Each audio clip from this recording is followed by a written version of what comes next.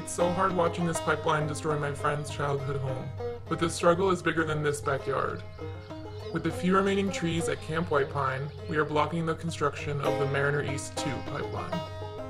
As a settler on stolen land, I have an urgent responsibility to join the struggle that indigenous people have been leading for over 500 years. Right now, Native warriors are resisting genocide and ecocide across so-called North America.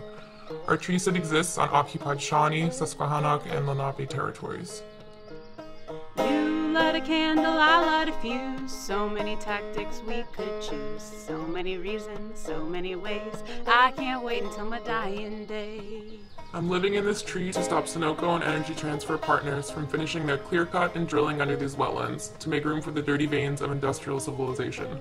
Under capitalism, this land is just a resource to be exploited, but we see its inherent value. We protect this land against the systems that will destroy it. Down with patriarchy, down with white supremacy, down with ecocide, down with the pipeline and its world. You light a candle, I light a fuse. So many tactics we could choose. So many reasons, so many ways. I can't wait until my dying day.